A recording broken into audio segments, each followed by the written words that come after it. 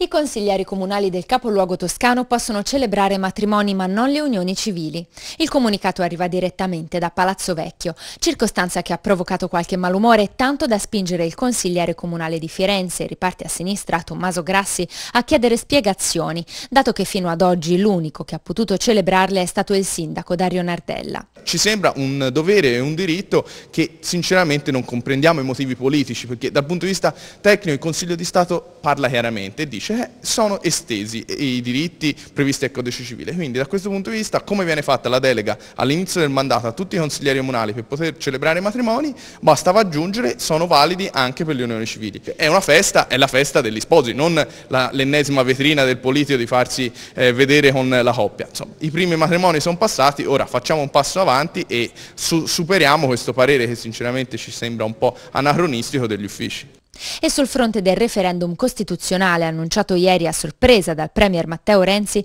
Grassi risponde con la campagna del no e un comizio di sinistra italiana che il primo di ottobre occuperà Piazza Ognissanti con i leader nazionali del partito, Da Torre e Stefano Fassina. Intanto finalmente abbiamo una data, eh, qualcuno stamani mattina ironizzava, finalmente abbiamo salvato il Natale perché a questo punto se continuava ancora a rinviare la scelta della data toccava arrivare sostanzialmente nel periodo eh, natalizio. Crediamo che sia una mossa assolutamente di piegare e di utilizzare come al solito ormai da parte del Premier Renzi anche quelli che sono eh, i doveri di un Consiglio dei Ministri, cioè quello di fissare almeno le scadenze elettorali e referendarie in maniera trasparente, condiviso con tutto, come al solito decide eh, da solo. Ora c'è da fare una campagna, c'è da convincere i cittadini a votare no e da questo punto di vista è ovvio che saremo eh, a pieno regime impegnati fino al 4 dicembre, anzi fino al 3 dicembre, fino all'apertura dei seggi, per poter convincere i cittadini che questa riforma non va bene